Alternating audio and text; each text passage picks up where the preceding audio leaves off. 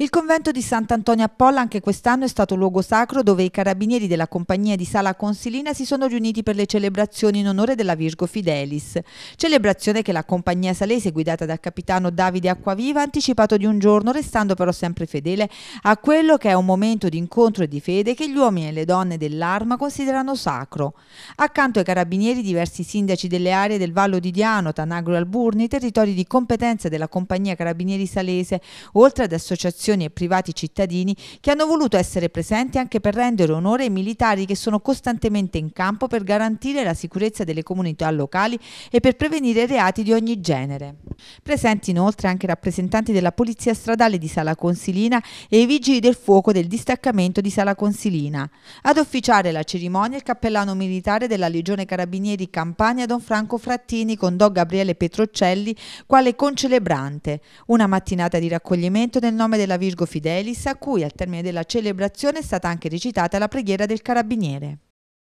Eh, ritrovarsi e celebrare una funzione eucaristica in, uh, in, favore in realtà oltre che degli appartenenti all'arma dei carabinieri in servizio, alle famiglie, anche ai diciamo, è rivolta a, a, celebrare un po' tutto il territorio, dato che l'arma eh, da oltre due secoli è vicina alle popolazioni, istituzione fedele alle istituzioni e, ed è un momento appunto per celebrare un po' con tutto il, il tessuto territoriale eh, questo momento. Oggi ricorre anche eh, l'anniversario, il 78esimo della battaglia di Kulkwalber, una battaglia importante della seconda guerra mondiale dove eh, l'arma si è distinta eh, difendendo un avamposto in Africa in maniera assolutamente memorabile. Ed è anche il momento per celebrare la giornata dell'orfano dove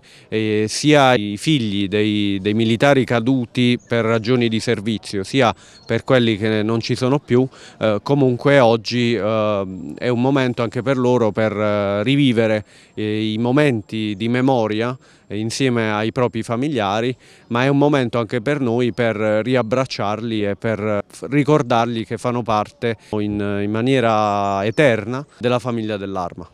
In ultimo le chiedo cosa uh, vorrebbe dire in occasione della Virgo Fidelis ai suoi uomini, cosa vuole che resti impresso nella loro mente? Ma quello che io più o meno gli ripeto tutti i giorni, tutelare in, con qualsiasi mezzo l'integrità uh, del territorio che ci ha affidato, il sentirlo come proprio e eh, impegnarsi e credere nella, nella tutela dell'ordine e della sicurezza pubblica, nell'assistenza alla, alla popolazione